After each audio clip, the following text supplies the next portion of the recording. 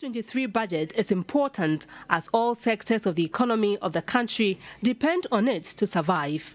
At the same time, football, which unites the nation in times of difficulties among others, and particularly a World Cup tournament, is also as important and dear to many.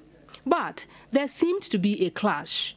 The finance minister, according to the majority leader Osei Mensah Bonsu, has written to parliament that he will present the budget to the House on Thursday, November 24. The Black Stars also has its opening game in the Qatar World Cup with Portugal on that same day, November 24. Presenting the business statement for the week, the majority leader Osei Mensah Bonsu says the sports minister has made an appeal to the House to push back the budget presentation to 23rd November so that Ghanaians can rally behind the stars on 24th.